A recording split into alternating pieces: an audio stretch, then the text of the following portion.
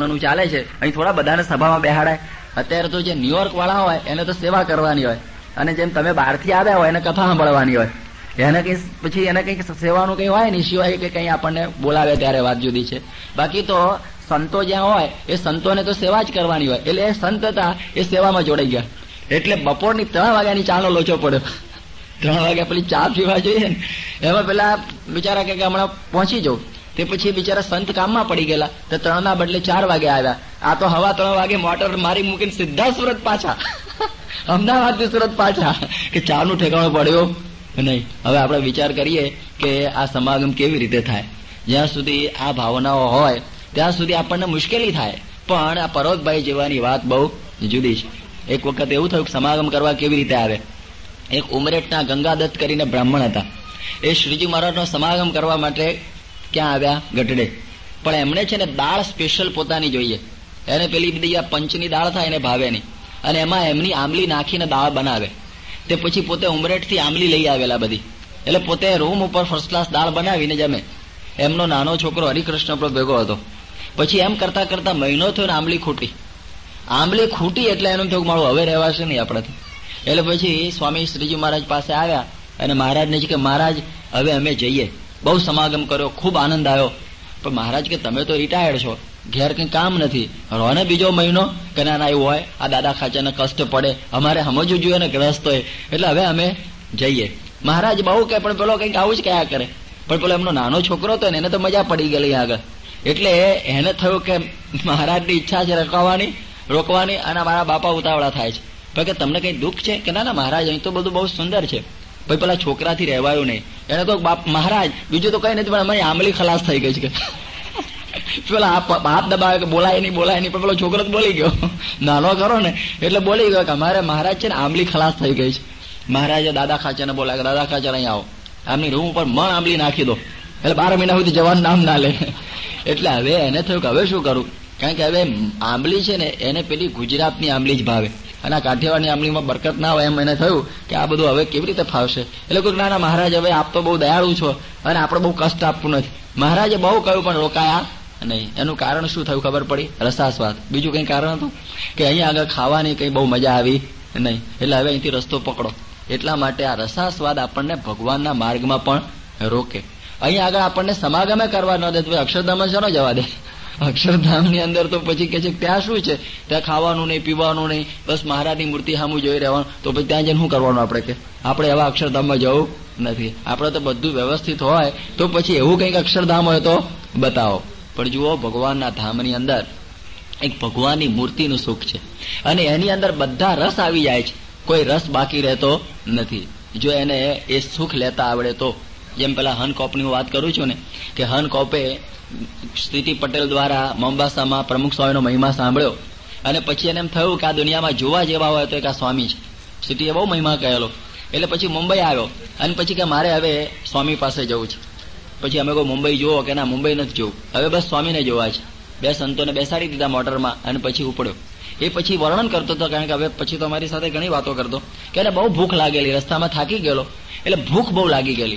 અને એની સાથે સ્વામીના દર્શનની પણ લગ્ની બહુ ભેગી હતી. અને એમ કરતા કરતા ગોંડલો પહોંચ્યો અને એ વખતે બાર વાગેલા પ્રમુખ સ્વામી જમવા બેઠેલા. પણ એને થોડું હું દર્શન કરવા જાઉં. એટલે જમતા હતા અને ત્યાં દર્શને પહોંચ્યો. અને પછી વર્ણન કરે છે કે મેં પ્રમુખ સ્વામીના દર્શન કર્યા. અને દર્શન કર્યા મારી ભૂખ ભાંગી ગઈ. મારી ભૂખ જ જતી રહી. એટલો બધો આનંદ આનંદ આનંદ થઈ ગયો. જો આ પણ કેવું કહેવાય કે જેને જેમાં લગ્ની લાગી હોય, એને પછી ભૂખ લાગતી નથી. એને પછી એમાં જ હોય. જેમ વૈજ્ઞાનિકોની વાતો તો સાંભળો છો ને, કે પછી એ શોધની અંદર એવા ચોંટી ગયા હોય કે ઘણી વખત થાળી મૂકેલી હોય, તો બીજા દિવસની થાળી આવે તો આગલા દિવસની એને ખાધી ન હોય. કારણ કે પેલામાં એનગ્રોસ થઈ ગયો હોય, શોધખોળની અંદર ખાવાનું ભૂલી હોય. એને ખાવાનું યાદ ન આવે. આ તો આપણે કથામાં બેઠા હોઈએ, ચાર વખત આંટા મારે રસોડામાં, કેટલી વાર છે ભાઈ, શું છે બધી તૈયારી? અલા, અહીં બેસ દે પણ એ આંટો ત્યાં જ ફરતો હોય. આંટા જ મારતો હોય. કારણ કે એના આમાં રસ છે નહીં. એટલા માટે અહીં ગુણાતીતાનંદ સ્વામી એમના નાનપણનો પ્રસંગ આપણને કેટલો સુંદર સમજાવે છે કે અમે લાડુ જમવા આવ્યા નથી. યોગીજી મહારાજ એક વખતે ડાંગરા ગામની અંદર હતા અને ડાંગરા ગામની અંદર એવું બનેલું કે સ્વામી પોતે ત્યાં હતા અને ત્યાં તો બહુ રસોઈ કોઈ વસ્તુ મળે નહીં. હાવ નાનું ગામડું. અને ઉનાળો ભયંકર. અને એમાં કોક હરિભગત કેરીઓ લાવેલો. પહેલી જ વખત કેરી એ સિઝનની એમણે ભાળેલી. એટલે પછી એનો રસ કાઢ્યો. અને બધાને એમ થયું ને કે પહેલી વખત રસ આવે કેવો મજા આવે. મોડામાં પાણી આવી જાય. એટલે પછી રસ બધો તૈયાર થયેલો. અને બાર વાગે થાકોળીનો થાળ કરીને જમવાની તૈયારી કરતા હતા, પથ્થરમાં બધો રસ પીરસી દીધો. અને ત્યાં શું બન્યું ખબર છે? ત્યાં આગળ ડેલી ખખડી. અને ડેલી ખખડી ખબર પડી કોઈક મહેમાન આવે છે. એટલે એમણે કહ્યું કે હવે કોણ આવ્યું હશે? બાણું પછી કે આપણે ખોલીએ.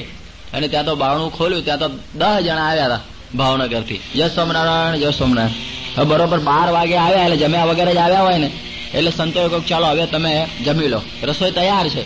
એ દસે જ હરિભક્તોને રસ ખૂબ પીરસીને જમાડ્યો. અને પેલા એ જાણે એના મનમાં કે આપણે બરોબર જમીએ, તો સાફ થઈ ગયો રસ. બધી રસોઈ ખલાસ થઈ ગઈ. કઢી ખાલી બચી. પછી કઢી બચી, સંતો કઢી પી લીધી. અને પછી આ પ્રમાણે બધાના વાસણ ઉટકી દીધા. આપણે તો શું સમજીએ કે કોક આવવાનું ખબર પડી બાણું ઠોકે છે હવે રસ પીતા શું થાય, બે મિનિટમાં તો રસ પીવાઈ જાય, એક પથ્થર પીવામાં શું વાર થાય. ભણવાનો કરે તો પાણી પીએ એમ રસ પીવાઈ જાય. અને ભૂખ લાગી હોય બરોબર. આપણે એવું કરીએ ને, પણ એમણે જોયું કે આપણે હરિભક્તોને જમાડીને રાજી થવું. ત્યારે એ જેના અંતરમાં ભગવાન સિવાય બીજો કોઈ રસ ના હોય ને, એનું આ કામ.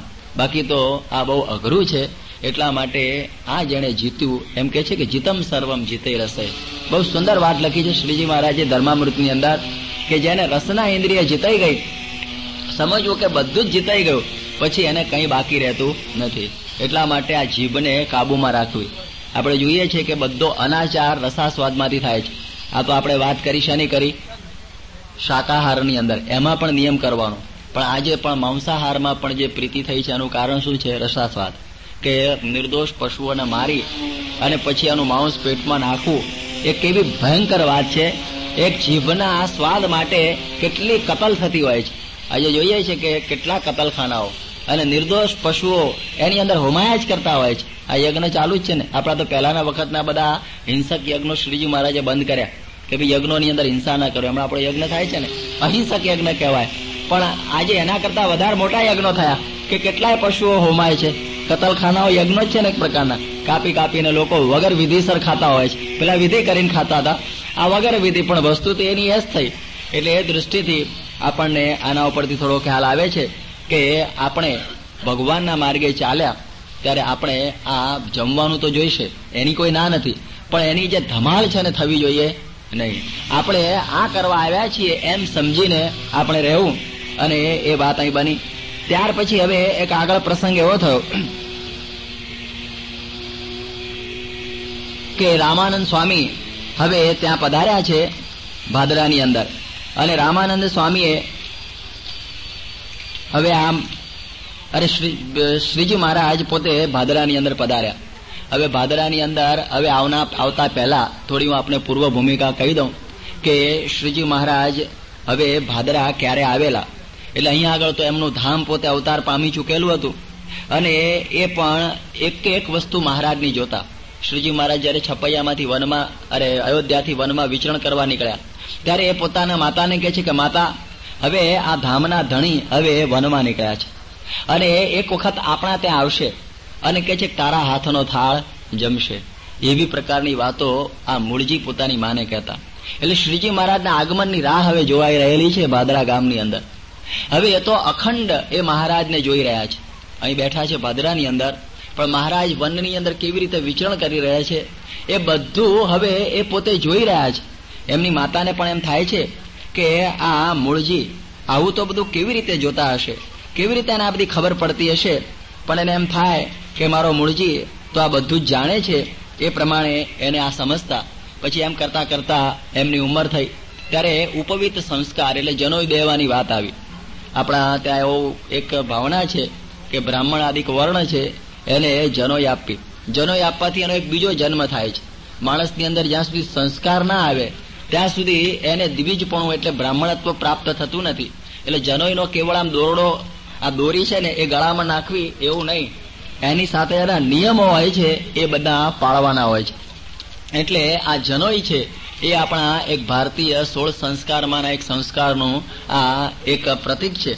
એટલા માટે ઉપવિત સંસ્કાર એક બહુ જ મહત્વનો સંસ્કાર છે. એટલા માટે આ પણ બ્રાહ્મણ હતા. હવે એમને પોતાના કોઈ મામા નહીં. એટલે એ વખત એવું બન્યું કે વશરામ ભાઈ હતા, એ એમના મામા તરીકે રહ્યા. અને પછી પેલો બળવો દોડાવે છે ને, એ પ્રમાણે એમનો બળવો દોડાવવામાં આવ્યો. ત્યારે એમને એમ થયું કે આપણે આ પ્રમાણે ચાલી જઈએ. પેલા સાત જળના લીટા કરેલા હોય. અને પછી બટુક એની ઉપર કૂદી અને જતો હોય છે. એટલે એ રીતે એમને એમ થયું કે મારે હવે આ સાત સમુદ્ર ઓળંગી અને વિદ્યા પ્રાપ્ત કરવાનું છે. અને કહેવાય કે આ બહુ કઠણ કામ છે. પણ જે એ માર્ગે ચાલેલો હોય એ તો બરોબર, એને બરોબર દોડતો જ હોય. એટલે પછી આગળ દોડવા માંડ્યા અને પેલા વશરામભાઈ હતા, એ એમને ઉપાડી લીધા. ત્યારે પછી ઘરવાળાએ કહ્યું કે કેમ કાશીએ ન ગયા? ખરી રીતે તો જ્યારે ઉપવીત અપાય એટલે જનોય અપાય, ત્યારે પછી ઘરમાં રહેવાનું ના હોય. પછી એને કાશીએ જઈ અને વિદ્યા પ્રાપ્ત કરવાની હોય. અને પચીસ વર્ષની ઉંમર સુધી ત્યાં રોકાવાનું. અને ત્યાર પછી એને ગ્રહસ્થાશ્રમની અંદર આવવાનું આ આપણી ભારતીય પ્રણાલિકા. એટલે એ દૃષ્ટિથી આ જનોઈને એવો અર્થ છે કે હવે આજથી તમને બ્રહ્મ વિદ્યાનો અને આ તમારી લૌકિક વિદ્યા ભણવાનો અધિકાર આપવામાં આવે છે. માટે તમે જાઓ. આ ત્રણ દોરા હોય છે બ્રહ્મચારીના. એટલે ત્રણ દોરાની અંદર બ્રહ્મા, વિષ્ણુના મહેશ, એ ત્રણ દેવતાઓની વાત છે. સત્વરજ અને તમ એ ત્રણ ગુણોની વાત હોય છે. પછી ત્રણમાં પછી વળી પાછા બીજા ત્રણ હોય છે. એટલે નવ તાતણા હોય છે. એવી રીતે પાછી એક બ્રહ્મ ગાંઠ હોય છે. એટલે આ બધી જનોઈ આપણને એ સંસ્કારો બધા આપે છે કે આપણી રક્ષાની અંદર દેવતાઓ છે ત્રણ ગુણોથી આપણે પર થવાનું છે અને આ બ્રહ્મ ગાંઠ છે, એટલે આપણો ફાઇનલ ધ્યેય આ બ્રહ્મરૂપ થઈ અને ભગવાનની ભક્તિ કરવાનો છે. એવું ઘણું ઘણું બધું આ જનોઈ એ આપણને કહેતી હોય છે. એ તો બહુ લાંબુ શાસ્ત્ર છે, અત્યારે હું કાઢતો નથી. પણ આ જનોઈની અંદર ઘણી બધી વાતો એ આવી જતી હોય છે. એટલે એ ભારતીય સંસ્કારનું આ બહુ જ મોટું ચિહ્ન છે.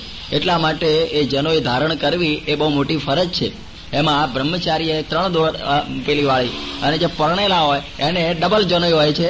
કારણ કે સ્ત્રીઓના આમ વતી એ પછી પુરુષ એ જનોઈ ધારણ કરતો હોય છે.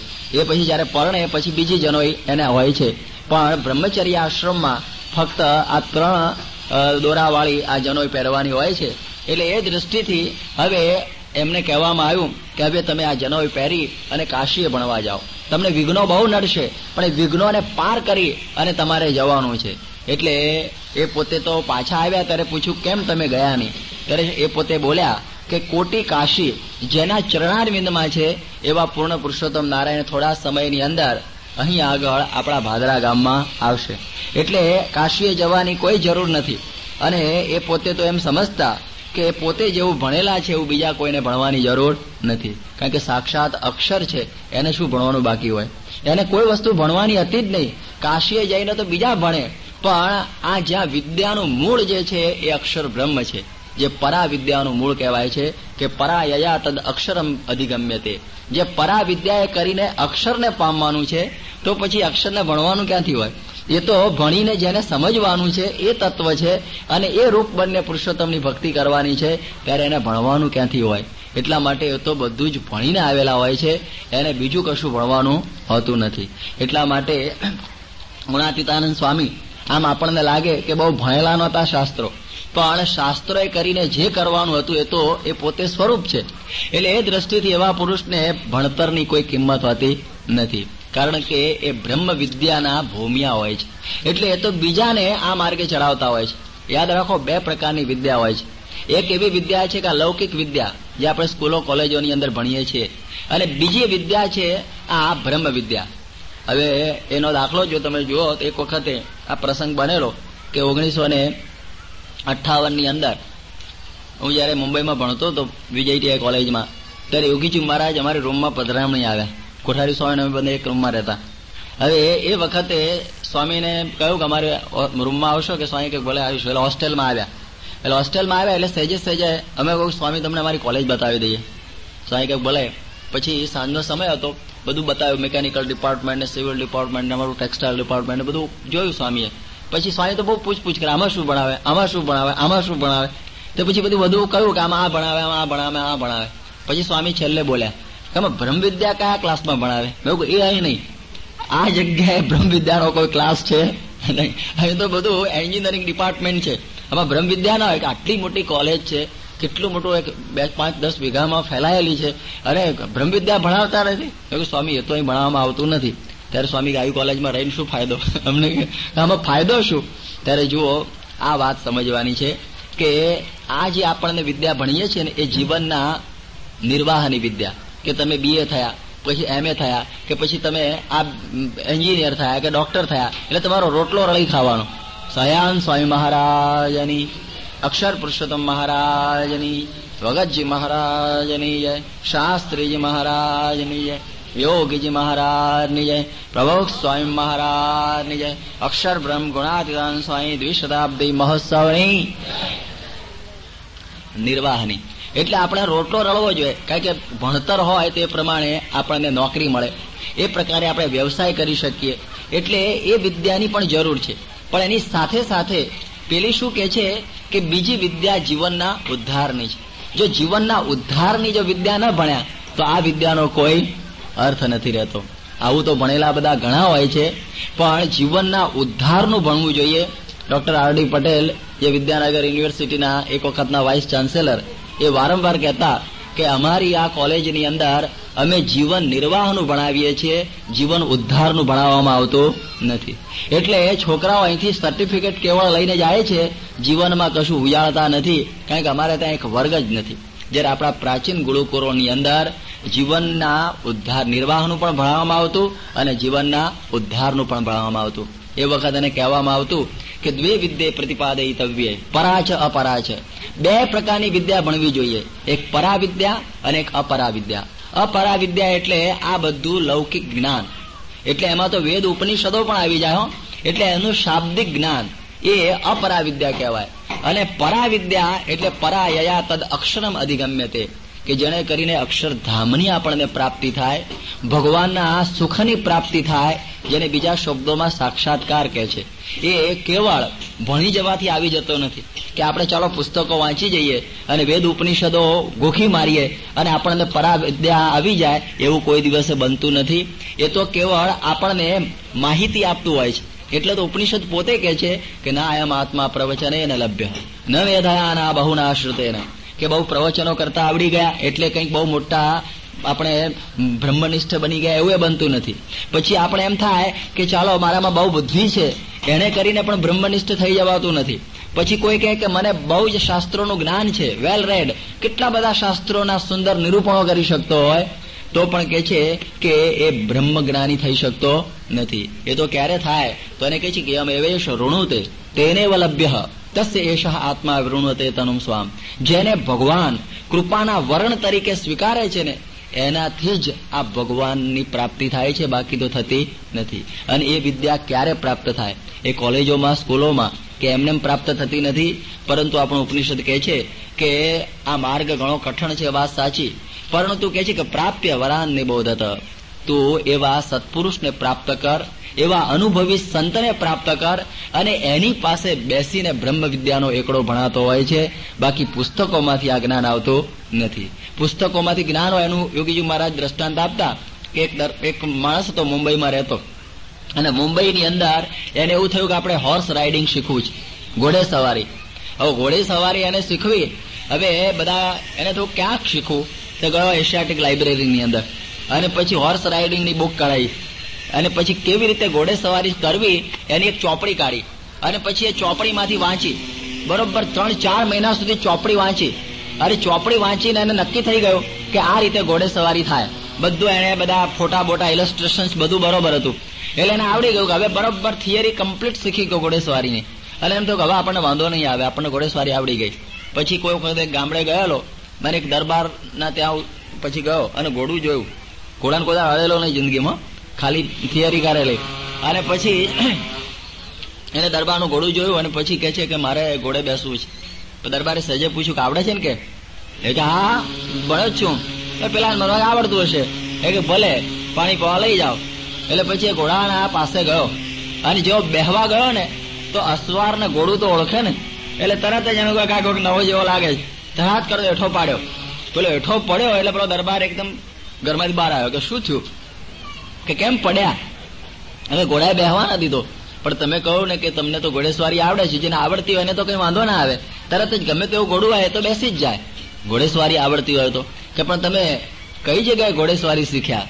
કે મુંબઈની એશિયાટિક લાઇબ્રેરીની અંદર. ઘોડું તો આજે જ હું અડ્યો કે કે એમ ન શીખાય ઘોડે ઘોડેસવારી. આ અમારો છોકરો છે ને, કોઈ દાડો કઈ કોઈ લાઇબ્રેરીમાં ગયો નથી. કોઈ કોલેજમાં ઘોડેસવારીની ગયો નથી. પણ જો તમે જુઓ ને, હમણાં હડાપ કરતો બેસી જશે. અને ઘોડાને કેવો ખેલાવે છે, જુઓ. પેલો તો જોઈ રહ્યો. એટલે કે કયું પુસ્તક વાંચ્યું હતું? કે કે નહીં? આ એમને એમને જ. આ ઘોડાની સાથે, મારા બાપની સાથે આમ કર્યા કરતો. અને એમાંથી મને ઘોડેસવારી આવડી ગઈ. જેને આપણે પ્રેક્ટિકલ નોલેજ કહીએ છીએ ને. એવી રીતે આપણે કેવળ શાસ્ત્રોનું જ્ઞાન તો પ્રાપ્ત કર્યું હોય, પણ અનુભવ જ્ઞાન બહુ જુદું છે. જ્યાં સુધી આપણને અનુભવ જ્ઞાન ન થાય, ત્યાં સુધી આપણને એ બ્રાહ્મી સ્થિતિ પ્રાપ્ત થતી નથી અને અનુભવ જ્ઞાન પ્રાપ્ત કરવા માટે સંતની પાસે બેસવું પડે. બાકી ફિલોસોફી ભણવી હોય ને, તો દુનિયાની અંદર જેટલી કોલેજો હોય છે ને, એમાં એક ડિપાર્ટમેન્ટ ફિલોસોફીનો હોય છે, કે એમએ વિથ ફિલોસોફી થયો હોય કોઈ. અને પ્રોફેસરો ફિલોસોફી ભણાવતા હોય. એટલી સુંદર ભણાવતા હોય કે આપણે ખુશ થઈ જઈએ. એટલે તમને એ વાચ્યાર્થ જ્ઞાન પ્રાપ્ત થઈ જાય એ કોલેજોની અંદરથી. પણ અનુભવનું જ્ઞાન પ્રાપ્ત થતું નથી. જેમ વિવેકાનંદ સ્વામીના આ જ પ્રશ્ન હતો ને, એ પણ પોતે બીએમાં તત્વજ્ઞાનને બધું લીધેલું. અને એમણે જોયું કે તત્વજ્ઞાનની વાતો બહુ સાંભળી. પણ એ કહે છે કે ભાઈ, તમે વાતો કરો છો, પણ તમે ભગવાનને જોયા છે? એ કે, ના, આ તો બધું પ્રવચન, તત્વજ્ઞાન ઉપરનું પ્રવચન. આટલા માટે તમે જુઓ કે દુનિયાની અંદર ઘણા બધા, લગભગ નવ્વાણું ટકા એવા છે કે ભગવાનની વાતો કરનારા ખૂબ મોટી સંખ્યામાં છે. અને આપણને ખુશ કરી નાખે એવી વાતો કરતા હોય. પણ તમે બરોબર એને સિન્સિયરિટીથી પૂછો તમે સાચું બોલો કે તમે ભગવાનનો સાક્ષાત્કાર કર્યો છે? તો જો એ સાચો હશે તો એમ બોલશે કે મેં કર્યો નથી. પછી તો દંભ હોય તો ખબર પડી જાય બોલતો હોય હા, મેં કર્યો છે, પણ ખબર પડે કેવો કર્યો એને. પણ છાતી ઉપર હાથ દઈને એમ કહેવું કે મેં ભગવાનનો સાક્ષાત્કાર કર્યો છે, એ વાત બહુ જુદી છે. વિવેકાનંદ સ્વામીના વખતમાં બધા પ્રોફેસરો સારા હતા. એ બોલી ઉઠ્યા કે ભાઈ, અમે તો વાતો કરીએ છીએ, પણ અમે ભગવાનને જોયા નથી. કેશવચંદ્ર સેન પાસે ગયા કે જેણે આખો પ્રાર્થના સમાજ ઊભો કરેલો.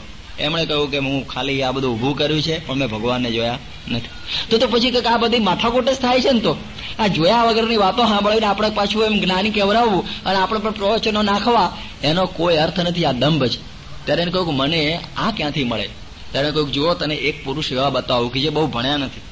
એને આટલું બધું તું જેવી ઈચ્છા રાખે છે, એવું એને જ્ઞાન નથી. પણ એને ભગવાનને જોયા છે. પછી એને દક્ષિણેશ્વરની અંદર રામકૃષ્ણ પરમહંસ રહેતા હતા, ત્યાં એમને મોકલ્યા. અને એને જોયા અને એમ થયું કે આ કોઈક જુદી જ પ્રકારના ઓલિયા છે. અને એને પ્રશ્ન પૂછ્યો કે તમે ભગવાનને જોયા છે કે હા. એને થયું કે પહેલો માણસ મને દુનિયામાં મળ્યો કે મેં ભગવાનને જોયા છે, હા પાડે છે. પછી કે કઈ રીતે તમે જોયા છે? તેને કે જેમ તું મને જોયે છે ને, એમ હું ભગવાનને જોઉં છું. ત્યારે એને એમ થયું કે હવે શિષ્યસ્ત હમ સાદી મામ તો આમ પરપન્નમ કરવા જેવું છે. અહીં આગળ સમર્પણ થઈ જવા જેવું છે, હવે બીજું કશું કરવા જેવું નથી. એટલા માટે જે સાક્ષાત્કાર થવો, એ બહુ જુદી વસ્તુ છે. એની અંદર ભણતર એક બહુ જરૂરિયાત જ છે એવું નહીં. ભણ્યા હોય તો એનો કોઈ વાંધો નથી, પણ ભણતર વગર ન જ ચાલે, એની એ કોઈ આ ક્રાઇટેરિયા નથી. એટલે આપણને ખ્યાલ આવે છે કે જુઓ, એક અનુભવની વાત બહુ જુદી હોય છે. એટલા માટે આ વાત બહુ જુદી પડે છે. યોગીજી મહારાજ, તમે આમ જુઓ તો બહુ ભણેલા લાગે. કાઠિયાવાડી ભાષાની અંદર સીધી સાદી વાતો કરતા. એક વખતે અમે મુંબઈમાં હતા, ત્યારે પાંડુરંગ આથવા લઈ જઈને એમ થયું કે મારે સ્વામીને મારા આશ્રમમાં લઈ જવા છે, થાણા તત્વજ્ઞાન વિદ્યાપીઠમાં. કારણ કે એમને સ્વામીના વિશે અતિ ભાવ. અને પોતે કહેતા કે મેં ઘણા સંતો જોયા છે, પણ જેની સામુ જોવાથી માથું નમી જાય, એવા એક યોગીજી મહારાજ મેં જોયા. એની મેળે માથું નમી જાય. અને એમણે કહ્યું કે આપણે તત્વજ્ઞાન વિદ્યાપીઠમાં સ્વામીને એક દિવસ રાખવા છે.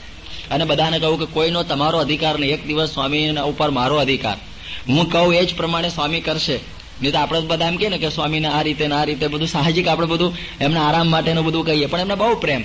એટલે યોગીજી મહારાજ ને લઈ ગયા અને પછી જમવાનું પણ એમના ત્યાં જ હતું. કે જમવા બેસાડ્યા. તો યોગીજી મહારાજને તો બહુ એવો આગ્રહ કે દરેકને આગ્રહપૂર્વક જમાડવા. પાંડુરંગ આથવાલયજી પણ બાજુમાં જમવા બેઠેલા. તે સ્વામીએ પછી લઈને પાપડ એમને આપ્યો કે જમો. હવે એમને એવો નિયમ કે એક વખત નક્કી કરી રાખેલું એટલું જ જમે. એમને થયું કે તો ધર્મ સંકટ સ્વામીએ મને આપ્યું. પછી એમણે કહ્યું કે જો હું પાંત્રીસ વર્ષથી મારી રીતનું જમું છું. કોઈ દિવસ હજી સુધી મારા નિયમમાં કોઈ દિવસ ભંગ થયો નથી. પણ આજે યોગી બાપા મને પ્રસાદી આપે છે નિયમ તોડીને જમી લઉં છું. એ જમી લીધું એમણે. પછી બરોબર બપોરના દોઢ વાગ્યો, જમીને પછી એક, એમનો બીજો ખંડ હતો. અમે ત્યાં ગયા બધા.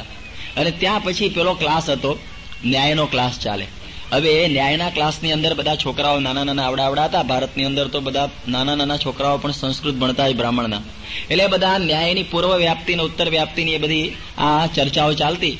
તે યોગી માને બેસાડ્યા. અને કહ્યું કે ચાલો છોકરાઓ, હવે આપણે ન્યાયના ક્લાસ શરૂ કરો. તો છોકરાઓ તો ફળફડાટ સંસ્કૃતમાં બધું ન્યાયની વાતો કરવા બોલ્યા, મંડ્યા. લગભગ પાંચ કલાક થયો. પછી મેં એમને કહ્યું પાંડુરંગજીને કે આ સ્વામી આમાં કશું સમજતા નથી અને આ બધો ટાઈમ વેસ્ટ થાય છે અને આ સંસ્કૃત બોલે છે સ્વામી તો ભણ્યા નથી. ત્યારે તરત મારો હાથ પકડ્યો એમણે. મને આવું કેમ બોલ્યા? તમે આવું બોલાય જ નહીં. અને આ યોગીજી મહારાજ જેવું ભણ્યા છે ને એવું દુનિયાનો કોઈ માણસ ભણ્યો નથી કારણ કે બ્રહ્મ વિદ્યા ભણેલા છે. અને એમણે કહ્યું કે આ છોકરાઓને એટલા માટે મેં સામે બેસાડ્યા કે એમની વાણી પવિત્ર થાય. એમના ઉપર સ્વામીની દ્રષ્ટિ પડે, એમની છાયા પડે, તો છોકરાઓની વિદ્યા આ કંઈક ઉગે. એટલા માટે હું બેસાડું છું. બાકી એ ભણ્યા નથી એવું કહેવાય નહીં. કારણ કે બ્રહ્મ વિદ્યા ભણેલા છે. ત્યારે આપણને ખબર પડે કે બ્રહ્મ વિદ્યા બહુ જુદી છે. ગુણાતીતાનંદ સ્વામી આમ આપણને લાગે કે કંઈ ભણેલા નથી એવું લાગે. પ્રમુખ સ્વામી, તમે આમ જુઓ તો વેદ ઉપનિષદના અર્થોને આમ જાણી ગયા અને બોલી ગયા હોય એવું આપણને નહીં લાગે. પણ વેદૈશ્ચ સર્વે રહમ એવ વેદ્ય. કે બધા વેદોએ કરી કરી અને આપણે કરવાનું શું છે? ભગવાનને જાણવા. એટલે એ દ્રષ્ટિથી આ જાણવાના છે જે ભગવાનને એ એમણે જાણી લીધા. પછી બીજું કશું જાણવાનું રહેતું નથી. કે છે ને, એક વિજ્ઞાન એને સર્વમ વિજ્ઞાતમ ભવતી. એક ભગવાન જેને જાણે ને, એને દુનિયાની કોઈ વસ્તુ પછી જાણવાની બાકી રહેતી નથી. રાજુભાઈ આશાભાઈ હવે યજ્ઞની અંદર બોલાવે છે, માટે એ જ્યાં બેઠા હોય, તો એ પોતે યજ્ઞ મંડપની અંદર જાય, રાજુભાઈ આશાભાઈ પટેલ. એટલે એ દ્રષ્ટિથી આ ભગવાનને જાણવા એ બહુ મોટી વાત છે. ઘણા લોકો આ માર્ગે ચાલે છે. પણ ભગવાન જાણવાના રહી જતા હોય છે. દુનિયાની ઘણી ઘણી વસ્તુઓ જાણતા હોય છે, ઘણું ઘણું ભણતા હોય છે.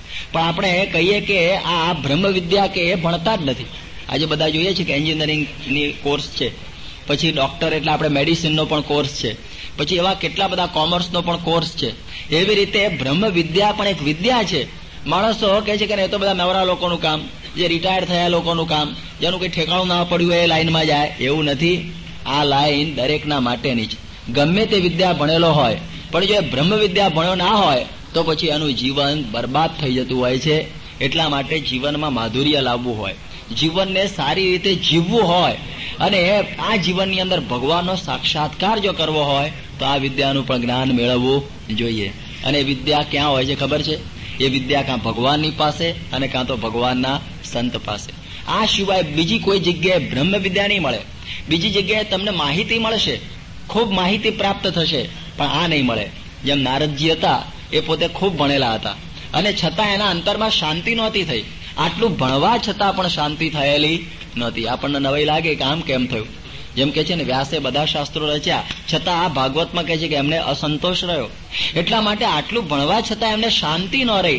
અને પછી એમને ખબર પડી કે તરતી શોકમ આત્મવિદ. જેને બ્રહ્મણ અને પરબ્રહ્મનું જ્ઞાન થઈ જાય, આત્મા પરમાત્માનું જ્ઞાન થઈ જાય અને શાંતિ થાય, તો જ્ઞાન તો કે મને બહુ થયેલું છે. પણ શાંતિ કેમ થતી નથી? અને પછી એ સનત કુમારની પાસે ભણવા જાય છે. સનત કુમારે કહ્યું, તમે હું ભણીને આવ્યા છો? તેને લિસ્ટ બતાવ્યું કે તો વેદના, ઉપનિષદના, આ વિદ્યાન, તે વિદ્યાન, દહર વિદ્યાન અક્ષી વિદ્યાન, બધું ખૂબ ભણ્યો છો. ત્યારે કહ્યું this is nothing mere list આ તો તમે ખાલી લિસ્ટ જ છે. આનો કોઈ અર્થ નથી. એટલે કે આટલી બધી મહેનત કરીને ભણ્યો તો અર્થ શું? કે આનો કોઈ અર્થ નહીં. આ તો માહિતી જ છે ખાલી ઇન્ફોર્મેશન આના સિવાય બીજો કોઈ અર્થ જ નથી. ત્યારે કહે છે કે, તો પછી આનું સમજવું શું? એમણે કહ્યું કે, જુઓ, આના કરતા જે ભગવાનનું સ્વરૂપ બહુ ઊંચું છે. અને એને સમજવું હોય તો તમારે આ સમાગમમાં બેસવું પડે. અને એ સનતકુમારના સમાગમમાં બેઠા ત્યારે પોતે એ શોક અને મોહથી દૂર થયા. બાકી આ શોક અને મોહથી દૂર થવું મોટા વિદ્વાનો પણ આગા પાછા થઈ જાય છો. બહુ વિદ્વાન હોય, ખૂબ ઉપનિષદો ભણ્યો હોય, બધું જ ખ્યાલ હોય, પણ કંઈક પોતાનો દીકરો મરી ગયો હોય.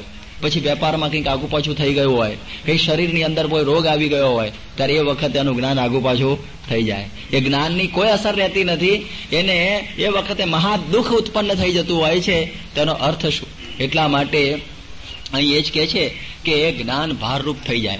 જો ઉપયોગમાં ના આવે, તો પછી ભારરૂપ થાય ને. હવે વરસાદ, બોલો કે ને, છત્રી લઈને ફરતા જ હોય. અને પછી વરસાદ અંદર પડતો ના લાગે છત્રી ભારરૂપ છે. ઉપયોગ વગર એવી રીતે કોઈ પણ વસ્તુ જો ઉપયોગમાં ના આવે તો ભારરૂપ બની જતી હોય છે. એટલા માટે ગુણાતીતાનંદ સ્વામીનું જે જ્ઞાન છે ને, એ પ્રેક્ટિકલ નોલેજ જીવનની અંદર ઉતારવાનું આ જ્ઞાન અને એ જ્ઞાન જેણે પ્રાપ્ત કર્યું, એના થકી જેને આપણે જોઈશું આગળ દ્રષ્ટાંતો, કે ગુણાતીતાનંદ સ્વામીની પાસે બેસીને જેણે જેણે જ્ઞાન મેળવેલું છે, એને સંસારના સુખ દુઃખોની અંદર એકતા આવી છે. જેને આપણે સ્થિત પ્રજ્ઞ સ્થિતિ કહીએ છીએ ગીતાની અંદર, એ સ્થિત પ્રજ્ઞ સ્થિતિ એ એમને બોલવાથી પ્રાપ્ત થતી નથી. એ સત્પુરુષના ચરણની સેવાથી આપણને પ્રાપ્ત થાય છે. એ આપણને જેમ આજ્ઞા કરે એમ વર્તીએ એમાં એ સ્થિતિ પ્રાપ્ત થતી હોય છે. બાકી એમને એમ ન થાય. ત્યારે આ ગુણાતીતાનંદ સ્વામી કહે છે કે મારે એ વિદ્યા ભણેલો છું અને મારે અનંતને આ વિદ્યા, બ્રહ્મ વિદ્યા ભણાવવી છે. એમને એ કરવું છે, એટલે મારે કાશીએ જવાની કોઈ જરૂર નથી. મારે તો અહીં બેઠા પણ આ બધું પ્રાપ્ત થશે. બાકી તો તમે જુઓ ને કે કેટલા વિદ્વાનોને મેં જોયા છે કે વાતો તો બહુ સુંદર કરતા હોય, બધું જ બરોબર હોય. પણ કંઈક એવી પ્રકારની આ જ્ઞાનની, અરે શું કહેવાય, જીવનની અંદર આગુ પાછું થયું હોય, ત્યારે એ જ્ઞાન એનું આગુ પાછું થઈ જાય છે. એનું જ્ઞાન એ વખતે ખલાસ થઈ જતું હોય છે, એક સંત હતા મુંબઈની અંદર. અને પછી કંઈક એમનું રેકોર્ડિંગ હતું રેડિયો ઉપર. હવે રેકોર્ડિંગ હતું કે સુખ દુઃખની અંદર માન અપમાનમાં એકતા. સ્થિતિ ઉપરનું એક રેકોર્ડિંગ હતું. એટલે પછી એ રેકોર્ડિંગ એમનું થયું. અને પછી એમને થયું કે આવું સાંભળી લઈએ કેવું થયું. તે પછી ફરી સાંભળ્યું તો બરોબર નહીં થયેલું. ગુરુડ ગુરુડ થોડું સામાન્ય, બહુ એટલું બધું નહોતું. પછી તો એટલા બધા ગરમ થઈ ગયા પેલા રેકોર્ડિંગ કરનાર ઉપર. ક્યાં સમજતા હે આવું કઈ રેકોર્ડિંગ થતું હશે? મારો આખો જુસ્સો મારી દીધો. મારો આખો ફોર્સ ખલાસ થઈ ગયો. મારું આમ થઈ ગયું. અને કે ફરી કર. ફરી કઈ ગડબડ થઈ કે બસ પછી એવા ગરમ થઈ ગયા અને પછી ગરમ થઈને નીકળી ગયા. પછી પેલા એ કહ્યું કે પ્રવચનનો મુદ્દો હતો કે સુખ દુઃખમાં માન અપમાનમાં એકતા રાખવી, ક્રોધ ના થવો. અને પ્રવચનનો મુદ્દો હતો જીવન તો પાછું આવું થયું. તો પછી પ્રવચન અર્થ શું? એક બાજુ પ્રવચન એમ કરે છે કે માન અપમાનમાં એકતા રાખવી. અને એક બાજુ પાછું આ જીવનમાં એ જ મુદ્દો ઊંધો પડતો હોય. ત્યારે આપણે જોઈએ છીએ કે આનો કોઈ દુનિયામાં કોઈ અર્થ નથી હોતો. એટલા માટે કહે જ્ઞાન કથે જેમ બળેલ ચૂલા બળેલ ચૂલા. પછી ચૂલામાં હું રાખ રે. આમ ફૂંક માર્યો તો આંખમાં વળગે. ત્યારે એનો કોઈ અર્થ રહેતો નથી. એટલા માટે જ્ઞાન એવું શીખવું. યોગીજી મહારાજ ઘણી વખત કહેવા હતા કે થોડું જ્ઞાન શીખવું, પણ સારધાર નભે એવું શીખવું. સારધાર નભે એવું. થોડું જ જ્ઞાન.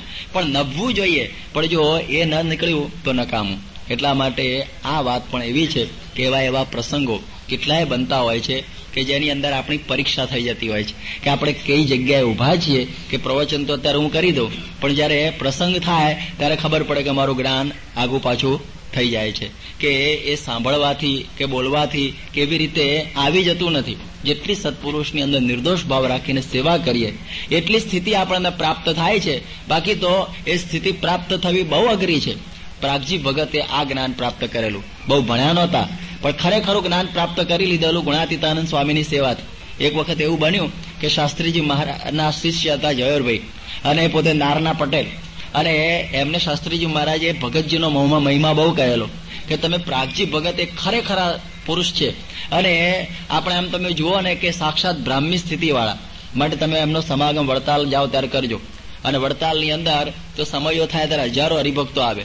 ત્યારે પેલા ભેવરભી કે મારે ઓળખવા કઈ રીતે પ્રાગજી ભગત ને સાધુ હોય તો કઈ ઓળખાય. ગ્રસ્ત તો બધા સરખા લાગતા હોય. એમાં મારે કઈ રીતે ઓળખવા કે આ પ્રાગજી ભગત છે? એ કે તમે જાઓ ને તમને ઓળખાશે. કે જેનું ગમે એટલું કોઈ અપમાન કરતું હોય અને છતાંય બોલે નહીં, એ પ્રાગજી ભગત સમજવા. હવે કે આવું તો પ્રસંગે ક્યારે બને શું થાય? એ તો ઉપડ્યા. હવે બન્યું એવું કે પ્રાગજી ભગત સવારના પોરમાં ગોમતી નાવા જતા હતા વળતા. અને એમાં એક બ્રહ્મચારી એ પોતે ઊભો ઊભો ગાળો દેતો હતો પ્રાગજી ભગતને. કારણ કે પ્રાગજી ભગતની સ્થિતિ એવી જબરજસ્ત હતી કે કેટલા હરિભક્તો એમની પાસે કથા સાંભળવા આવે. કેટલાક સંતો પણ એમને દંડવટ કરે ને કથા સાંભળવા આવે. ત્યારે પેલો થોડો થોડો રાગદ્વેષ હોય ને, એટલે પેલા એટલો સાધુ એની પર ગુસ્સે થયા કે તું તો ભગવાન થવા માંડ્યો છું. અને આ પ્રમાણે આમ છે ને તેમ છે ને નહીં બોલવાનું. તું તો દરજી છે ને ચિંથરા ફાડ છે ને બધું ઘણું બોલ્યા. ઘણું બોલ્યા પણ પેલા કઈ હાવે જવાબ જ ના આપ્યો. એમને ઊભા હતા હાથ જોડીને, લોટો હાથમાં પકડીને નવા જોતું એટલે. અને પછી તો આ પ્રમાણે પેલા બી ત્યાં ફરતા ફરતા ત્યાં આવ્યા. અને એને જોયું કે આ માણસને આ આટલી બધી ગાળો બોલે છે તો એને કઈ અસર થતી નથી. અને એમનામાં જ ઊભા છે એટલે એને થોડું કદાચ પ્રાગજી ભગત તો નહીં હોય, એના મનમાં થોડી શંકા થવા માંડી. અને એ વખત પેલા પ્રાગજી ભગત વળી પાછા બોલ્યા કે, સ્વામી, હજી તમારે જે કહેવું હોય કહી દો, એટલે હું પછી બેઠો સાંભળી લઉં. પછી નાવા જેવું છે પણ તમારા મનમાં રહી ન જાય. વળી પાછો પેલો ગાળો બોલવા માંડ્યો. અને પછી તો પેલા ખાતરી થઈ કે આજ ખરેખર પ્રાગજી ભગત હશે. એટલે એમણે દંડવટ કર્યા. એમણે દંડવટ કર્યા એટલે પેલા કોણ? કે મને શાસ્ત્રી યજ્ઞ પુરુષ દાસે તમારો સમાગમ કરવા મોકલે. તમે જ પ્રાગજી ભગત ગયા હું. એટલે પેલા પાકું થઈ ગયું. મને ત્યાં અમને દંડવટ કરતા જોયો, એટલે પેલો પણ પાછો બ્રહ્મચારી ઓર બગડ્યો. કે જો આવા આવા એને ભગવાન માની દંડવટ કરે છે, બરાબર, અમારી સામે. મારી સામે જોતા ને તેના ગ્રસ્તને આ પ્રકારે દંડવટ કરે છે. એટલે પેલો તો વળી પાછો આમની ઉપર ઉકળ્યો. કે આવા આવા કેટલા બધા ભેવલાઓ છે. હવે ભગતજી તો કઈ બોલ્યા નહીં, પણ નારનો પાટીદાર બધું કઈ એકદમ સાંભળી લે. એને તરત દંડો ઉપાડીને કહ્યું કે તારે મને બ્રહ્મચારી કરીને, પછી ભગતજીએ કહ્યું ન થાય આપણે તો સમાગમ કરવા આવ્યા છે પણ કે શેનો બોલે પણ કે, તમને બોલે વાંધો પણ મને શેનો બોલે? ત્યારે કે આનું નામ બ્રહ્મ સ્થિતિ થાય, કે આપણે ગમે એટલું કોઈ બોલે પણ સામે જવાબ અપાય.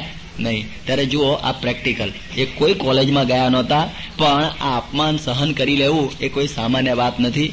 આપણે તો ગમે એટલી જ્ઞાનની વાતો કરતા હોય અને કોઈ આટલું બોલે તો કેવું થઈ જાય? ઘણી વખત સ્વામી વાત કરે છે ને, કે આપણે કથા વાર્તા ને બધું સાંભળ્યું હોય, પણ ચરોતરના પાટીદારને કોઈ કણબો કે તો હું દશા થાય મહાન મુશ્કેલી ઊભી થઈ જાય ને. હા? કેટલું બધું થઈ જાય રજનીકાંત? તકલીફ થઈ જાય ને? હા, પેલો સાધુ હોય તો બેડી નાખે. એટલા માટે વિવેક રાખવો પડે ને. પણ તમે વિચાર કરીએ કે એ વાત પણ એવી છે કે જ્યારે આવા આવા પ્રસંગો બને, પણ એમાં મન કોઈ રીતે આગુ પાછું ન થાય, ત્યારે એક એવી સમજણ છે. ત્યારે જેણે સંતનો સમાગમ કર્યો હોય ને, એને આ જ્ઞાન પ્રાપ્ત થતું હોય છે. બાકી ખાલી બોલનારા તો અમે બહુ જોયા છે. અને કેટલા પ્રવચનો કરનારા બહુ જોયા, પણ એના જીવનમાં કંઈ જ ના હોય. એના જીવનની એની સાથે કંઈ લેવા દેવા જ ના હોય. એક હતા એક સંતે બહુ સુંદર પ્રવચન કર્યું. અદભુત. અને આખી સભા આમ એટલી બધી સ્પેર બાઉન્ડ કરી દીધી. અને એટલું બધું સુંદર બોલ્યા. અને પછી કહ્યું કે આપણે તો આ પ્રમાણે આ નાટક ચેટક ન જોવા, સિનેમાઓ ન જોવા તો ઉપદેશ બધો હતો. અને બધાને એટલું દાખલા દલીલોથી આપ્યું, બહુ ખુશ થઈ ગયા. પછી બીજે દિવસે છે ને, જે કથામાં બેઠેલો ને એક ભાઈ, હવે એ સિનેમા જોવા ગયો. કારણ કે એને તરત ને તરત થોડી અસર થઈ જાય, તો આપણે બોલીએ તો ખરા. એટલે સિનેમા જોવા ગયો. પછી પેલું, જયારે પેલો વચ્ચે પેલું શું પડે છે? ઇન્ટરવલ ત્યારે બહાર આવે ને, તો પછી પેલા જે કથા કરનારે ભેગા હતા. એટલે પેલા એ પૂછ્યું, બાપજી, તમે ક્યાંથી? બાપજીને પેલો પૂછે છે કે, તમે ક્યાંથી? ટપક્યા અમે તો ઠીક છીએ, પણ તમે ક્યાંથી આવ્યા? અને તમે તો બધી વાતો કરતા હતા કે, આ સિનેમા ના જોવાય, આમ ન કરાય, તેમ ન કરાય. ત્યારે પેલો કે અબે ઉલ્લુ બાત ભી હમ કરે વર્તન ભી હમ કરે, તો તું કેમ કરેગા? અમે વાતો કરીએ તમારે વર્તન કરવાનું. વાતો તો અમારે કરવાની, અને તમારે શું કરવાનું? પાળવાનું. બે વાત પછી મારે કેવી કરવી? અડધું તો તું કર કે. એટલે આવો ઉપદેશ થતો હોય છે, એની અસર આપણા ઉપર થતી નથી. આપણે ગમે એટલું જોઈએ છીએ પણ કે છે ને કે આટલા બધા ઉપદેશકો હોય છે, એની કેમ અસર થતી નથી? એટલે હું કહું છું સારો પ્રવચન કરનાર હોય ને, એનો પ્રશંસક વર્ગ બહુ હોય. પ્રશંસક વર્ગ બહુ હોય, યાદ રાખજો, પણ એનો અનુયાયી વર્ગ હોતો નથી. પ્રવચનકારોના પ્રશંસક હોય છે અને પ્રમુખ સ્વામીના અનુયાયી હોય છે. અનુયાયી એટલે શું? કે એને પ્રમાણે વર્તનારા. આજે તમે જુઓ કે આજે સ્વામી વાતો કરે છે ભલે એમ થાય કે લોકોના ઉપર અસર થઈ જતી હોય, એમ ના લાગે પ્રવચનોથી લોકોને દબાઈ આમ ઇમ્પ્રેસ કરી દેવા. પણ તમે વિચાર કરો કે પ્રવચન વાળાને તમે કહેજો, આજે પ્રવચનો કરનારા ઘણા બધા છે કેટલા બધા હિન્દુસ્તાનમાં છે, આપણા ગુજરાતમાં છે. પણ એક જેને બીડી છોડાવી હોય તો બહુ અઘરી પડતી હોય છે. પ્રવચન કરીને આમ નીકળી જાય પેલા આમ નીકળી જાય. પણ તમે વિચાર કરો કે આજે પ્રમુખ સ્વામી મહારાજે બસો જણને સાધુની દીક્ષા આપી દીધી. એ પ્રવચનકારથી થાય અને એ સાધુથી થાય. એ અનુભવી સંતથી થાય કે જેના હૈયામાંથી વ્યસનો તો ઠીક જગત કાઢીને ભગવાન આપી દેવા. એ વાત બહુ જુદી છે. એટલા માટે આપણા હિન્દુસ્તાનની અંદર સંતોનો મહિમા છે. પ્રવચનોકારોનો મહિમા ઠીક છે, આપણે એનાથી માહિતી મળે એ પણ ઉપયોગી છે, પણ જે અંતરમાં પરિવર્તન થઈ જવું અને આપણને પ્રતીતિ થઈ જવી, એ તો આવા સંત થકી થાય છે, અનુભવી સાધુ થકી. એટલા માટે એનો મહિમા આપણા ત્યાં વિશેષ રહેલો છે, કારણ કે એના થકી આવી સ્થિતિ થાય. બાકી તો એમને એમ તો આ બધું ઘણું જ્ઞાન ચાલ્યા કરતું હોય છે. અમે ત્યાં હતા અમદાવાદમાં. ત્યારે ઓલ ઇન્ડિયા ફિલોસોફિકલ કોંગ્રેસ હવે ઓલ ઇન્ડિયા ફિલોસોફિકલ કોંગ્રેસ એ રાધાકૃષ્ણે સ્થાપેલી. હવે એ લગભગ એને એ સ્થાપે પંચાવન જેટલા વર્ષ થયા. ડોક્ટર રાધાકૃષ્ણન. હવે એમણે કહ્યું કે હિન્દુસ્તાનમાં તત્વજ્ઞાન બહુ છે. અને લોકો એમ સમજે છે કે હિન્દુસ્તાનના બધા માણસો તત્વજ્ઞાની છે. એટલે આપણે એક ફિલોસોફિકલ કોંગ્રેસ ઊભી કરવી. એટલે એણે ફિલોસોફિકલ કોંગ્રેસ ઊભી કરી આખા હિન્દુસ્તાનના બધા જ તત્વજ્ઞાનો, કોલેજોના પ્રોફેસરો બીજા ત્રીજા બધા ભેગા થાય. બહુ મોટી સંખ્યા છે, લગભગ સાતસો આઠસો ની સંખ્યા છે. અને દર વર્ષે બધા જુદી જુદી જગ્યાએ બોલાવે. તો આપણી ઈચ્છા થઈ કે આપણે બોલાવીએ આપણા અમદાવાદની અંદર દ્વિશતાબ્દીના ઉપક્રમે. તો એની અંદર બધા તત્વજ્ઞાનોની ચર્ચા થાય. એમાં સ્વામિનારાયણના તત્વજ્ઞાનની વિશે પણ આપણે વાત કરવી. તો પછી એ ફિલોસોફિકલ કોંગ્રેસને બોલાવવા માટે અમે તૈયારી કરી, તો તો ખબર પડી કે એની વ્યવસ્થા શું કરવાની. એમાં કોઈક બીજું બધું તો બરોબર છે, પછી ખાવા પીવાનું તો આપણે જ કરવું પડે ને યજમાન તરીકે. ત્યારે એને કહ્યું કે ભાઈ જુઓ, તમારે બે વ્યવસ્થા રાખવી પડશે. શું? એક વેજીટેરિયન એક નોન વેજીટેરિયન અમે બોલો, આ કેવું? અને કે તમે વેજીટેરિયન ઓછું હશે તો ચાલશે. લગભગ નેવું ટકા નોન વેજીટેરિયન રાખજો. બે ચાર ટેબલ તમે રાખજો વેજીટેરિયનના પણ કેમ એમ? કે આ બધા તત્વજ્ઞાનીઓ તત્વજ્ઞાન કૂટ્યા પછી એ લોકો માંસાહાર કરશે. અમે કહો આનો કોઈ અર્થ ખરો? આ તત્વજ્ઞાનનો કોઈ અર્થ ખરો? કે આ તત્વજ્ઞાનની અંદર બ્રહ્મ પરબ્રહ્મની વાતો કરવી અને વળી પાછું જમતી વખતે એ લોકો શું કે જમવું એ જુદું છે અને તત્વજ્ઞાન જુદું છે. એ બંને ભેગું નથી. આ ફિલોસોફી કહેવાય. ફિલોસોફી ને રિલિજન બે ભેગું નહીં કરવાનું. એ બે વસ્તુ તદ્દન જુદી છે. એને ભેગી ન કરો. ફિલોસોફી એક બુદ્ધિનો વિષય છે અને જીવન સાથે કોઈ લેવા દેવા નથી. ત્યારે આવી રીતની વાતો કરનારા પણ મળી જાય છે. આજે એક ફિલોસોફિકલ કોંગ્રેસ ચાલે છે. જ્યાં ભરાય ત્યાં આગળ માંસાહાર જમે છે. અને આ પ્રમાણે આપણે પછી ના પાડી કે અમારે એવી ફિલોસોફિકલ કોંગ્રેસની કોઈ જરૂર નથી. અમે અમારી રીતે તત્વજ્ઞાન કરીશું. અમારે અમને બોલાવવા નથી. તો આપણને ખબર પડે કે આવા જ્ઞાનનો કોઈ અર્થ નથી જીવનમાં ઉતરવું જોઈએ. જીવનમાં આપણો આહાર શુદ્ધ થવો જોઈએ. આપણા વિચાર શુદ્ધ થવા જોઈએ. આપણને માન અપમાનમાં એકતા પ્રાપ્ત થવી જોઈએ. સુખ દુઃખની અંદર સમતા પ્રાપ્ત થવી જોઈએ. તો સમજવું કે આ જ્ઞાન કોઠે પડ્યું. આપણે જુઓ, એક દાખલો તો આપણને ખબર છે ભારત વર્ષનો. તુકારામની હતા. ખરેખર આ બિચારા ભક્ત હતા. કોલેજમાં ભણવા નહીં ગયેલા, પણ ભક્ત હતા. હવે એ તુકારામને એક વખત ગામે બહુ દ્રોહ કર્યો. હંમેશા જો ને, ભગતને જગતને બનતું નથી. એને બધા દ્રોહ કરતા જ હોય. તો એક વખત તુકારામ ઉપર આખા ગામ બધું ગરમ થયું. એટલે છોકરાઓ કે આને ભગતને કંઈક હેરાન કરીએ. તે પછી ભગતને બોલાવી અને એનું માથું મૂંડી નાખ્યું. માથું મૂંડીને પછી ઉપર ચૂનો ચોપડી કાઢ્યો. ચૂનો ચોપડી ગળાની અંદર ગાજર અને એની માળા પહેરાવી દીધી. અને પછી ગધેડા ઉપર બેહાડીને ઊંધા ગધેડા ઉપર બેહાડીને પૂછડું હાથમાં પકડાયું. અને છોકરા આગળ બધા ડબલા પતરા બધા હુરીઓ વગાડતા હુરીઓ કરતા કરતા નીકળ્યા. હવે પેલા આવી રીતનું ગામમાં આ નગરયાત્રા એની નીકળી. અને પછી તો એ પેલા તો બરોબર તબિયતથી ગધેડા ઉપર બેઠેલા. પછી એનું ઘર આવ્યું. એની વહુ તો જોઈને થઈ ગયો મારા ધણીને આવી દશા કરી નાખી. એ તો બિચારી બહુ શોખ કરવા માંડી. ત્યારે પેલા કહે છે કે ભાઈ તું શું કામ શોક કરે છે? આમાં કઈ શોક કરવા જેવું કંઈ છે જ નહીં. કારણ કે આપણે તો ગરીબ છીએ અને તારાના મારા કે લગ્ન થયા ત્યારે આપણે તો કંઈ કશું થયું નહોતું. આ ફૂલેકું રહી ગયેલું આ ઉગલાવાનું. તો પછી અત્યારે આ પ્રયોગ થયો. ભલે મોડું તો મોડું, આપણે શું વાંધો છે? આ ગામમાં પણ ખબર પડી ને કે ભાઈ આ છે કોઈ. અને આ પ્રમાણે આ મારી દાઢી બધી વધી ગયેલી ને વાળ છ છ મહિનાનું બધું. અને એમાં કશું આપણને પૈસો મળતો નતો આ મફત મુંડી આપ્યું. કેટલો બધો ઉપકાર કરી આપ્યો. અને અંદર ટોલા પડી ગયેલા. ખોડો થઈ ગયેલો. આ ચૂનો ચોપડી આપ્યો એટલે બધું સાફ. કેટલો ફાયદો થઈ ગયો. અને આ ગળાની અંદર દસ્તેર બધા માળા પહેરાવી છે, રીંગણાની, અરે શું કહેવાય ગાજરની. આપણે દસ દિવસ સુધી આનું શાક ચાલશે. માટે આમાં મને કઈ નુકસાન થયું લાગતું નથી. હવે આ એક સ્થિતિ છે ને.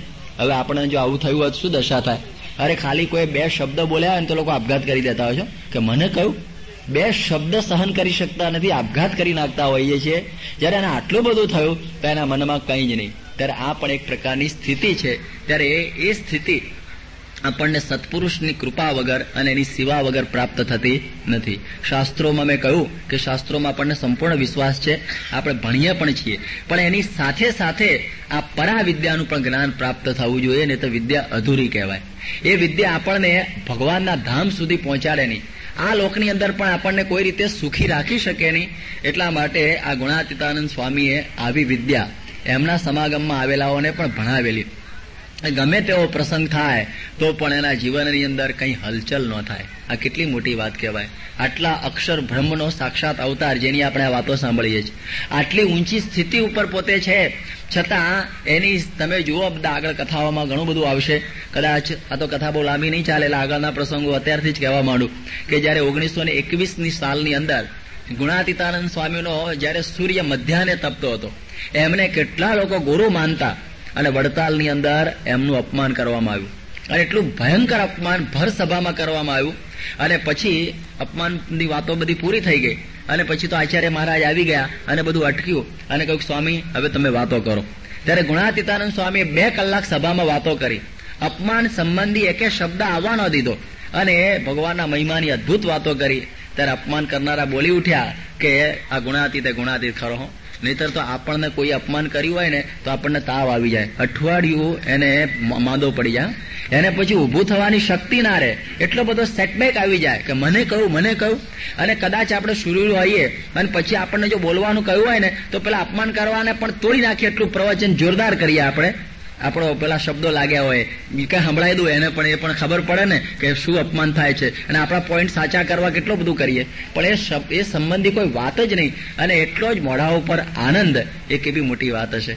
આ કોઈ સામાન્ય વાત નથી હો. બહુ અઘરામાં અઘરી સ્થિતિની વાત છે. આપણે એ સ્થિતિને પામવું છે. જેમ આપણે કહે છે ને, ગુણાતીતાનંદ સ્વામીને એ કરાવવું છે કે આપણે અક્ષરરૂપ થવું છે અને પુરુષોત્તમની ભક્તિને કરવી છે. કે છે કે એ સ્થિતિને મારે બધાને પમાડવા છે. એક એકને એ સ્થિતિને પમાડવાના છે, ત્યારે એના માટે આપણે બધા ભેગા થયા છે. આપણું જે જ્ઞાન છે ને, છેલ્લી કક્ષાનું, જેને કહેવાય ને કે પ્રેક્ટિકલ નોલેજના ક્લાસમાં આપણે બેઠા છીએ. આપણે ખાલી કથા વાર્તા સાંભળવા ભેગા થયા નથી. એ કથા વાર્તા તો સાંભળીને શું કરવાનું કે આ સ્થિતિમાં આપણે વર્તવાનું છે. અને એવા પ્રસંગો જો આવી જાય, તો આપણે પાછા ના પડીએ તો ગુણાતીત બચ્ચા કહેવાઈએ. જો ગુણાતીત બચ્ચા થઈ અને પછી માન અપમાનમાં આવી ગયા, પછી આપણે આ પ્રમાણે અભાવ અવગુણમાં આવી ગયા, તો પછી આપણે સાચું જ્ઞાન પ્રાપ્ત કર્યું કહેવાય નહીં. આ જ્ઞાનની અંદર તો કેટલું બધું આવી જાય. એનો મહિમા આવી જાય. એની અંદર એકતા આવી જાય. એની અંદર જીવનમાં સાદાઈ આવી જાય. એની અંદર જીવનમાં દિવ્યતા આવી જાય. આ બધું જ્ઞાનનું ફળ છે. એ જો પ્રાપ્ત ન થાય, તો મહેનત થઈ કહેવાય. એટલે એમને એ જ્ઞાનની ખ્યાલ હતો. એટલે કહે છે કે મારે તો આ જ્ઞાન બધું જ સાધ્ય થયેલું છે અને કાશીએ જઈને મારે કશું બીજું પ્રાપ્ત કરવાનું નથી. અને હવે તો હું ભગવાનને અહીં અખંડ દેખું છું. પછી એક વખત એવો એક પ્રસંગ બન્યો કે પોતે એક વખતે ખેતરે જતા હતા મૂળજી શર્મા. અને ખેતરે જોયું કે બધા છોકરાઓ કંઈક રમતા હતા. હવે એમણે જોયું કે કૂવો હતો અને કૂવાની અંદર લીલ બાજી ગયેલી. ગામડાના કૂવા હોય ને ઘણી વખતે લીલ બાજી ગયું એકદમ સખત. એટલે પેલા છોકરાઓ શું કરે? ઉપરથી પથરા નાખે. અને પથરા નાખે ને એટલે પેલી લીલ ખસી જાય. એટલે પછી નીચે તો નિર્મળ પાણી હોય. અને પછી થોડી વાર થાય ને પછી થોડી લીલ છે ને પછી ભેગી થઈ જાય, હો. તમે બીજા દિવસ જાઓ ને તો લીલ પાછી ભેગી થઈ જતી હોય. એ વખતે મૂળજીભાઈ ત્યાં પહોંચ્યા અને છોકરાઓને રમત કરતા જોઈને કે શું કરો છો? કારણ કે એ નાના હતા. પણ જો નાનપણથી એની રમતો પણ કંઈક જુદી જ હતી. એટલે એને કહ્યું કે જો રમત કરો છો, પણ એનો અર્થ સમજો છો કે કઈ નહીં, અમે તો પથરા નાખીએ છીએ જુદું પડે છે, બીજું કઈ નહીં. ત્યારે ગુણાતીતાનંદ સ્વામી કહે છે, જુઓ.